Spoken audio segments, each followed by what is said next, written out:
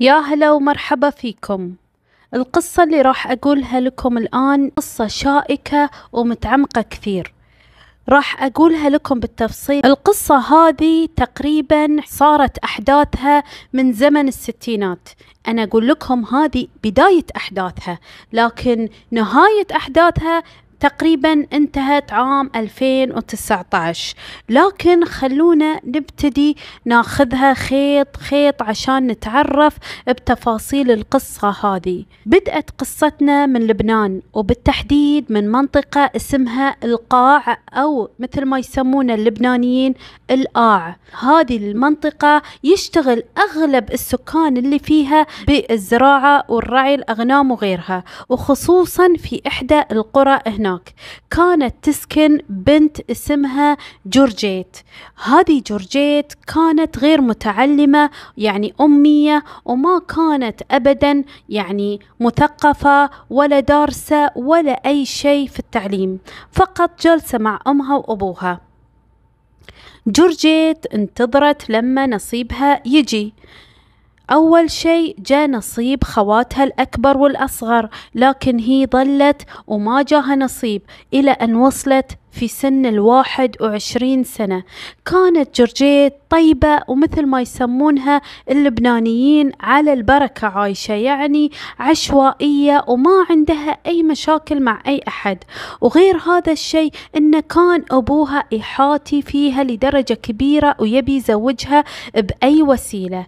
إلى أن يوم من الأيام جاب لها واحد وقال راح تتزوجين من هذا الرجل. طبعا هذا الكلام صار تقريبا عام 1966 أبو جورجيت لما جاب لها واحد هي ما سألت مين هذا ولد مين وشنو دارس ومين راح يكون لأن في ذاك الزمن متعودين الناس وبالأخص البنات ما يراددون ولا يحاججون أبهاتهم ولا يغلطون عليهم.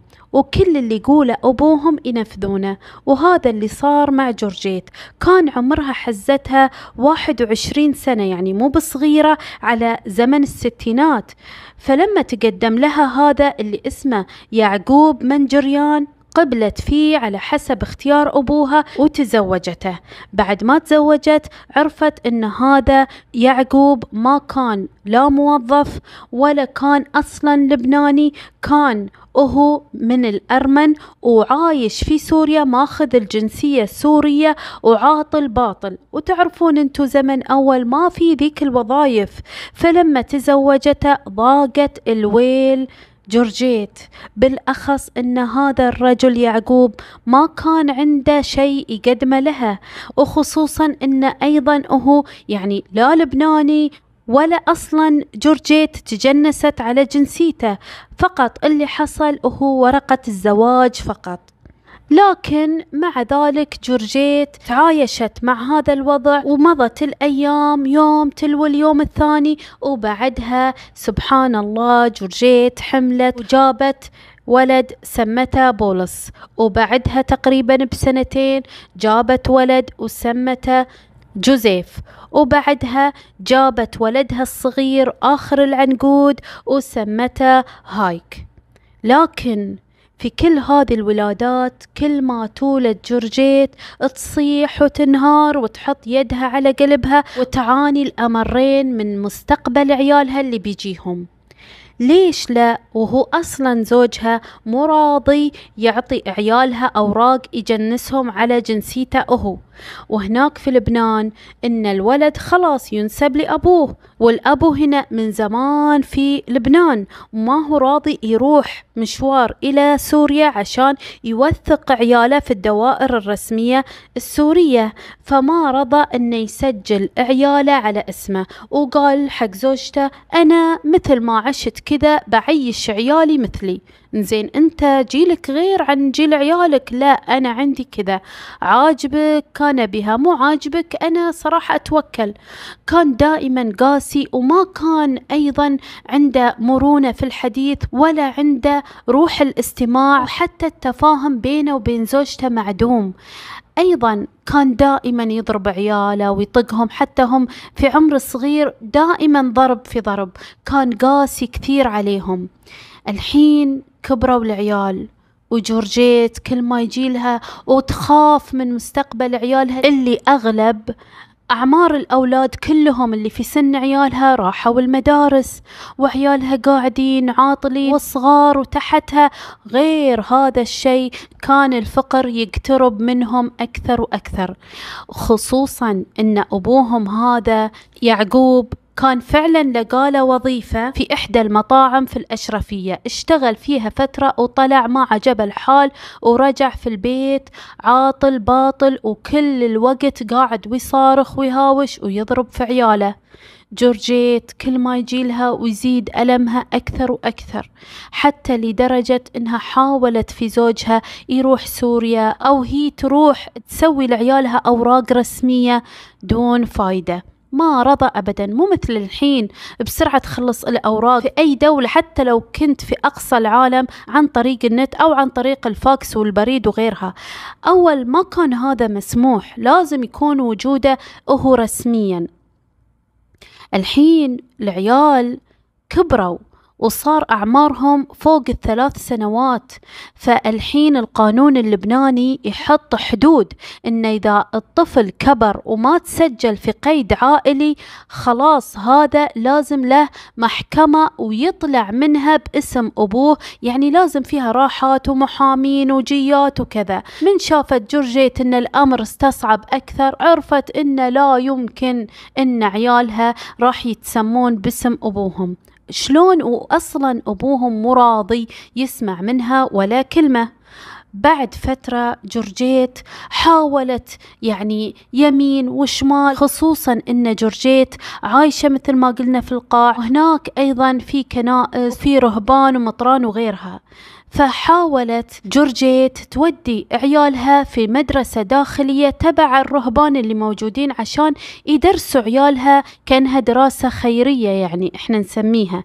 فودت عيالها لكن طلبوا منها فلوس 300 دولار ثمن دراستهم وأكلهم وشربهم وغيره. فكانت هي عارفة من وين تجيب هالمبلغ لأنها أصلا هي عايشة مثل ما قلنا في ضيعة أكلهم وشربهم كله يعتمد على الزراعة. فإيش سوى جورجيت؟ قامت تشتغل كخادمة في إحدى الدير هناك في لبنان.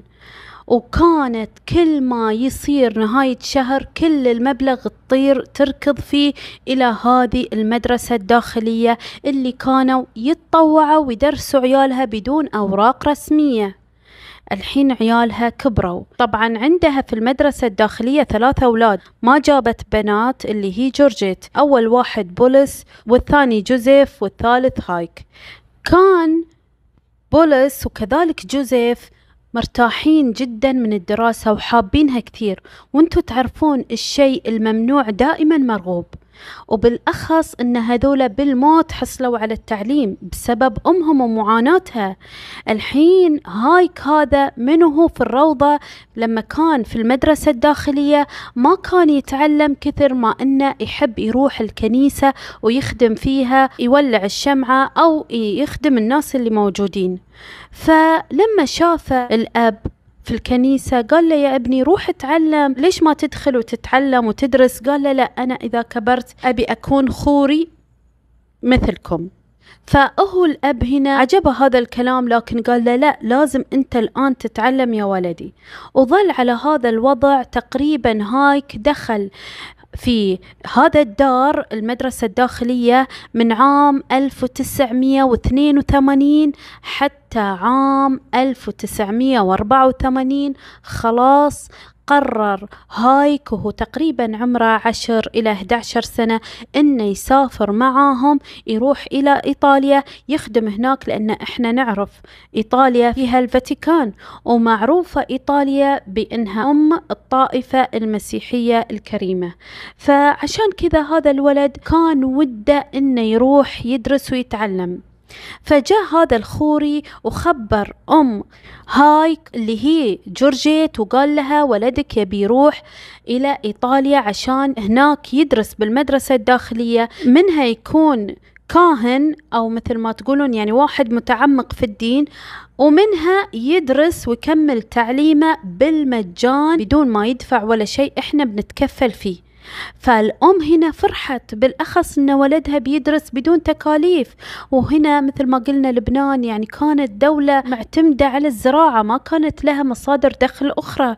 فقبلت الأم لكن أول ما قالت حق زوجها شن شائنته وهاج هيجان غير طبيعي وعصب وقام يصرخ وما رضى يتقبل ولا كلمة حتى إنه يعني سوى البيت جحيم. جمع عياله اللي هو بولس. وكذلك جوزيف وزوجته جورجيت وقال لهم اسمعوا والله لو ولدي يهاجر ويروح مكان ثاني إيطاليا عاد أو غيرها راح أحبسكم كلكم.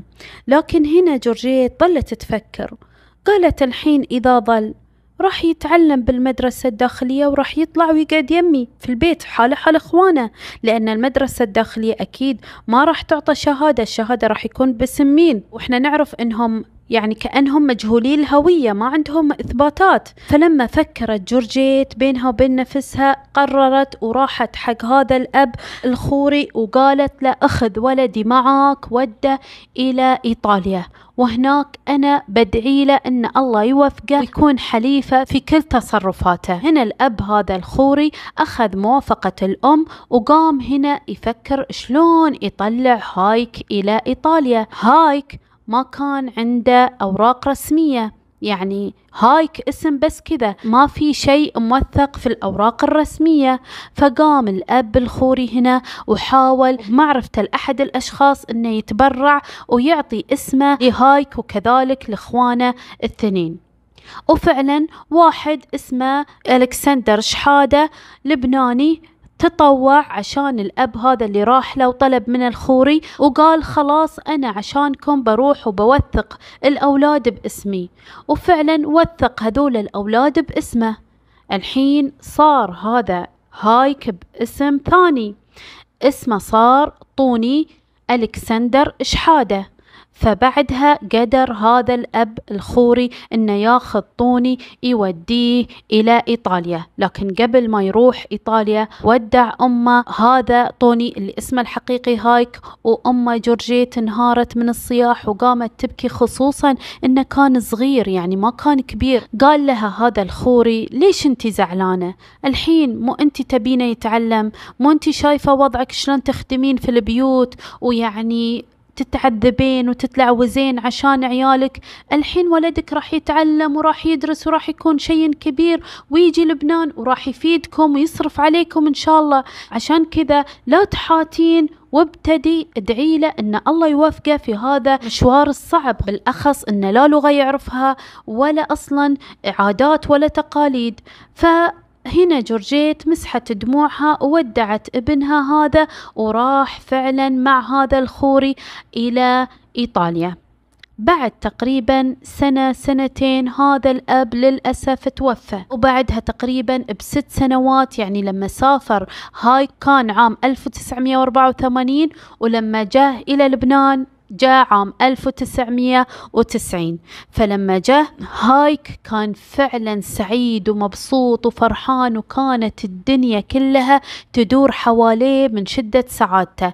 كان حزتها عمره فقط عشرين سنة وكان شايف الحياة حلوة وكان يضحك مع أمه وكانوا أهله جدا سعيدين وفرحانين من مستوى المعيشة اللي هو عايش فيها. بالأخص أنه جايب لهم صور شلون متصور يم برج بيزا المائل ويم الآثار والأنهر الموجودة هناك غير أنه يكفي تعليمه الدراسي بامتياز وكذلك في وقت قصير جدا.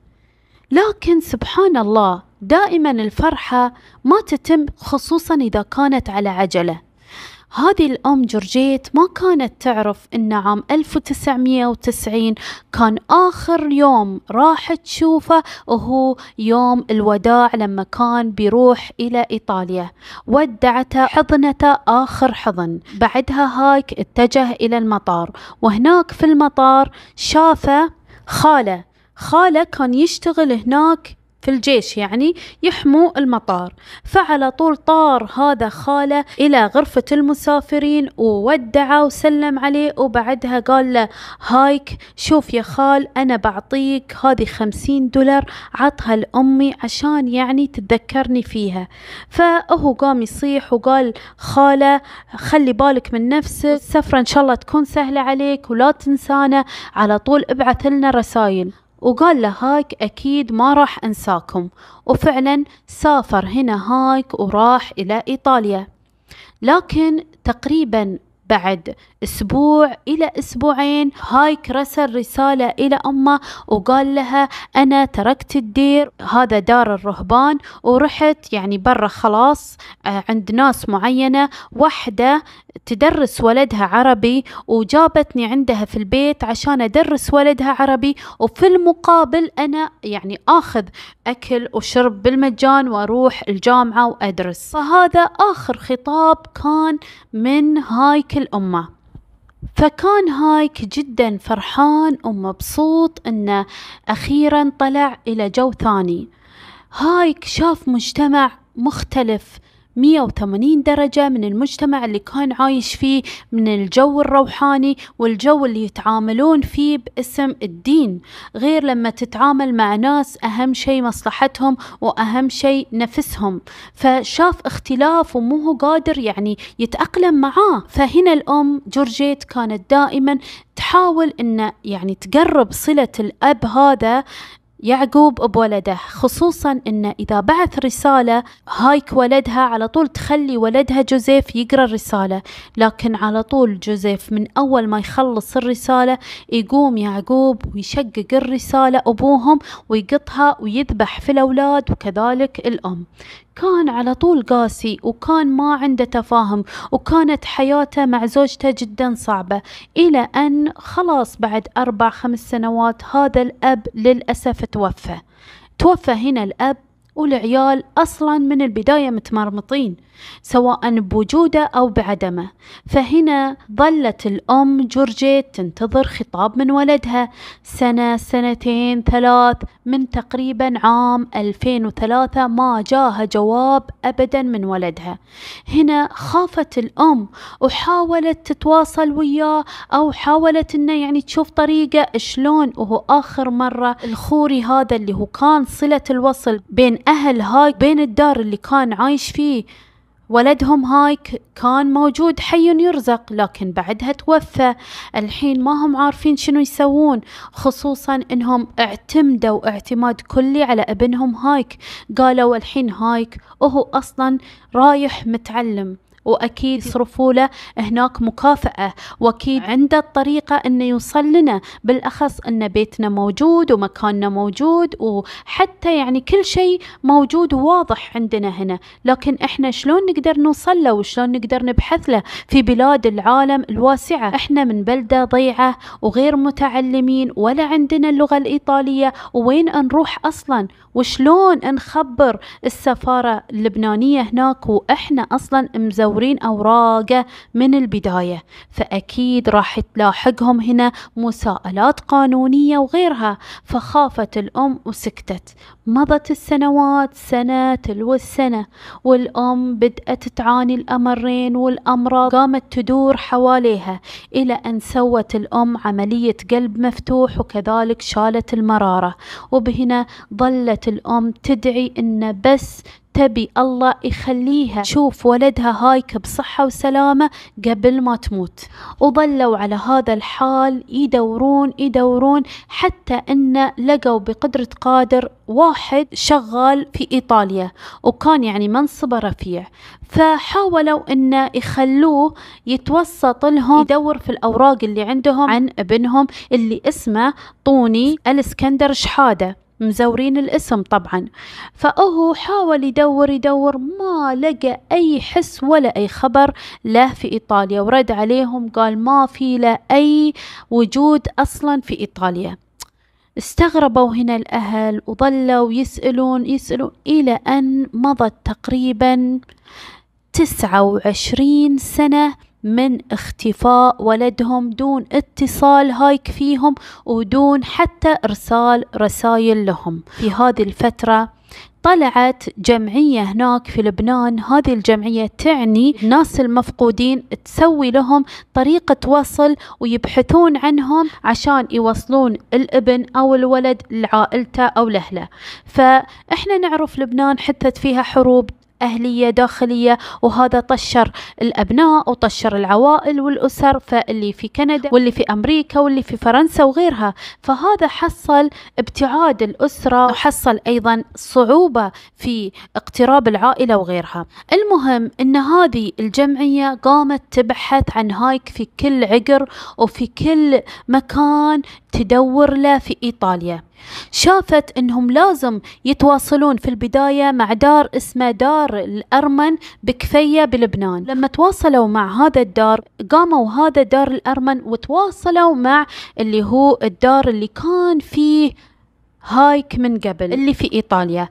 وقال لهم هذا الدار انه فعلا كان موجود هايك عندهم لكن للأسف هاجر. تركنا وراح تقريبا من 29 سنة ما شفناه والحين وهو نقل من منطقة ديفينيس إلى منطقة ثانية.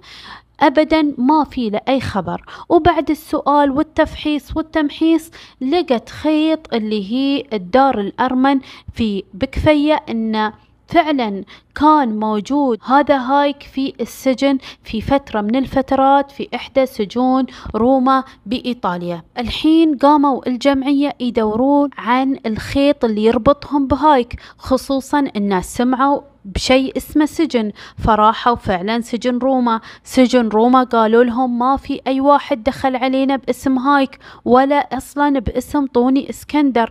شلون الحين وين يروحون؟ فالكاهن اللي كان موجود في هذه السجون كان أصلا أصله لبناني يتكلم عربي. فلما شاف صور هايك وهو طبعا أكيد الصور اللي موجودة عندهم صور إنه هو عمره عشرين سنة قال كان في واحد يشبهه تقريبا في السجن في روما لكن ظل فترة بسيطة وبعدها طلع لكن ما يعرف عنه أي معلومات. قال لهم إذا تبون تعرفون معلومات أكثر تواصلوا مع مرشد السجون هنا في إيطاليا. إيطالي هذا اسمه دون روبرتو. وكان دائما هذا دون روبرتو يطلع على القنوات ويتحدث عن أمور المساجين وغيرها. وفعلا راحوا على طول هذه الجمعية واتصلت بدون روبرتو. دون روبرتو كان مشغول وقال لهم راسلوني على الإيميل. لما راسلوا على الإيميل للأسف أنه ما رد لهم أي خبر. لكن بعد فترة معينة وتقريبا عام 2018 رسلت لهم وزارة العدل أن نهائيا ما في واحد بهذا الاسم طوني الصهيوني ألكسندر شحادة موجود ولا له وجود أصلا في روما ولا دخل لا في السجون ولا في الأوراق الرسمية. فهنا استغربوا هنا الجمعية قالوا مستحيل شلون هو رايح إلى إيطاليا وكذلك رسائله والناس اللي موجودين عاشروه قالوا إنه شافوه. بالأخص إنه كان عنده صديق مرة مرة يحبه وكان هذا الصديق لبناني اسمه بيير. راحوا وتواصلوا مع بيير. بيير قال من ثلاثين سنة ما شفته. وفي بعد واحد زميله كان في الدار معاه أو الدير اللي يسمونها. فهذا الزميل بعد ما راحوا له قال لهم فعلا كان هذا هايك معاي لكن بعدها طلع من الدير. ما أعرف عنه شيء تقريبا من تسعة وعشرين سنة. ظلوا الفريق البحثي هنا يتابعون وهم على أعصابهم ما هم عارفين شنو راح يسوون.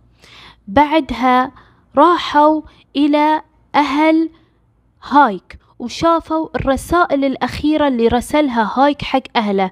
شافوا أن هايك راسل لهم طبعا رسائل كثيرة جدا من ضمنها آخر رسالة مدون لهم عنوان ورقم تليفون أنه مغير سكنه. فقاموا الفريق البحثي واتصلوا على هذا الرقم المدون لكن للأسف أنه طلع ملغي وأصلا هذا الرقم مو رقم جوال كان رقم ثابت. وأيضا الفريق البحثي راحوا إلى العنوان اللي دون كان لأهله آخر رسالة لكن لما وصلوا إلى هذا المكان شافوا أنه تحول من عمارة إلى دار سينما.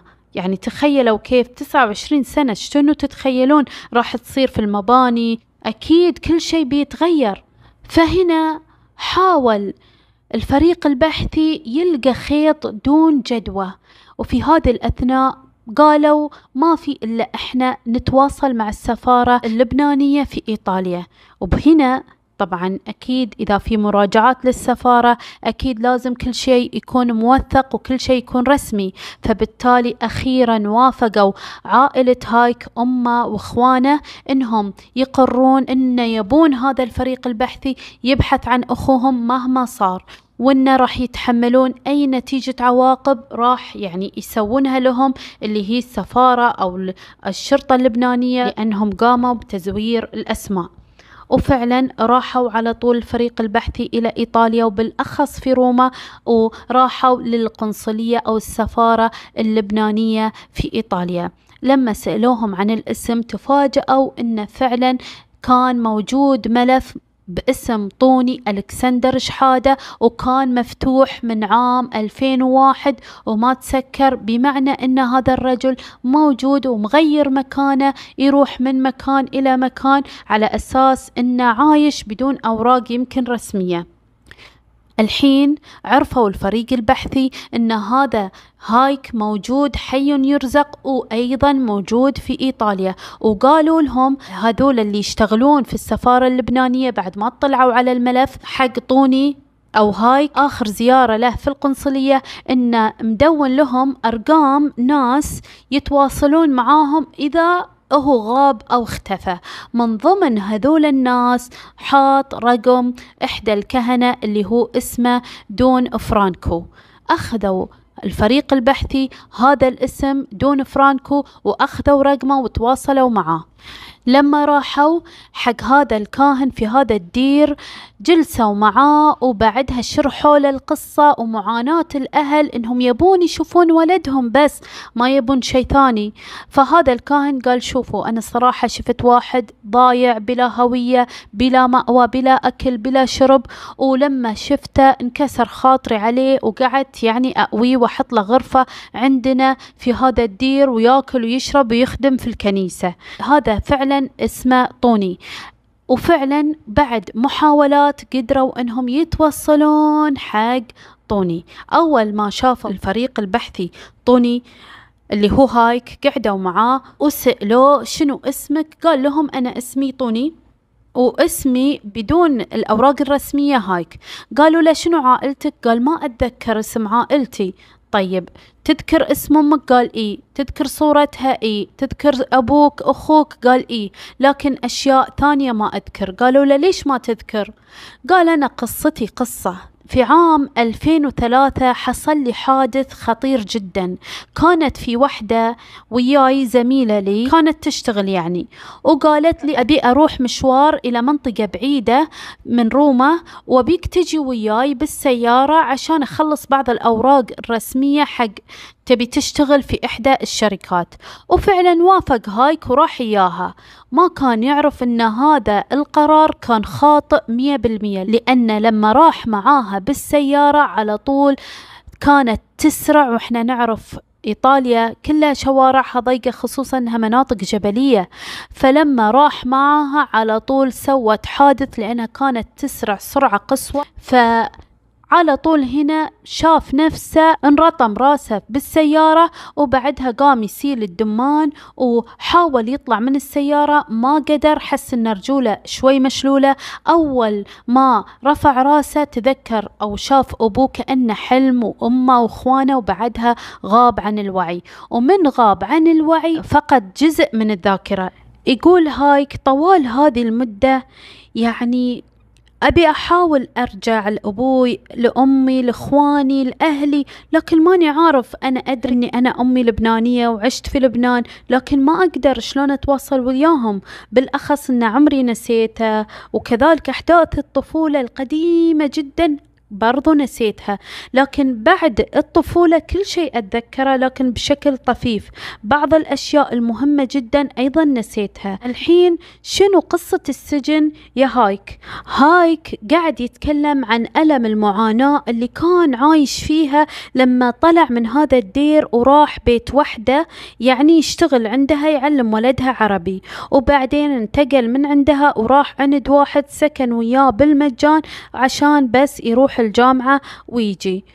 بعد فترة بسيطة شاف روحه هايك يعني ما يبي يثقل على الناس ولا عنده فلوس يتأجر. فشاف روحه إنه أخذ له مسكن اللي هو الشوارع والطرقات حق إيطاليا. وهناك تكثر العصابات وتكثر الناس الشينة والناس المجرمة وبهنا حاول إنه يتعرف على ناس على الأقل يساعدوه أو يأكلوه. فهنا هذول الناس رحموا حاله وفعلا أخذوه وحاولوا إنهم يدبروا له مكان. لكن للأسف إنهم كانوا صحبة سيئة ومجرمين. فتورطوا هذول الشباب في عمليات سطو كثيرة وبعدها لبسوا التهمة إنه كان معاهم. وأكيد هايك ما كان متعود على هذا الجو ولا كان متعود على هذا الناس الشريرة وحس إن كل الناس يتعاملون معاه بعفوية. على طول الشرطة أصلا ما سمعته أخذته وسجنته هناك وبعدها ما شافوا عنده أوراق رسمية عطاه وثيقة فقط يعني عشان يتعرفوا عليه في السجن. هذه الوثيقة اللي عطوه زي يعني مثل ما تقولون باسبور حقه أخذها وظل يتعامل وياها طوال ما هو عايش هناك في إيطاليا في هذه المدة اللي قضاها. وفي خلال هالفترة يقول هايك تعرفت على بنات كنت أبي أتزوج لكن شلون يقبلون فيني وأنا أصلا عمري ما أعرفه حياتي ما أعرفها كأني مجهول الهوية. لكن أكثر شيء صدم هايك وأثر عليه في حياته لما هايك راح فعلا إلى السفارة اللبنانية في إيطاليا وعطاهم معلوماته وفعلا قالوا له تعال لنا عشان تكمل أوراقك في عام 2003 قبل ما يسوي حادث اللي هو يأثر على ذاكرته. فلما راح لهم قالوا له شوف يا هايك أنت تبي تسوي باسبور جديد. فلأنك أنت انطوى الباسبور القديم طوني ألكسندر شحادة مو موجود وتأكدنا بشكل رسمي من الجهات المختصة في لبنان إن هذول الثلاثة جوزيف وبولس وكذلك طوني ميتين وليس لهم وجود في الحياة عند ألكسندر شحادة وأصبحت الآن أنت ملغي وأصبحت متوفي. وبمناسبة هذا الكلام جيب جوازك لأنك أنت منتحل شخصية ثانية.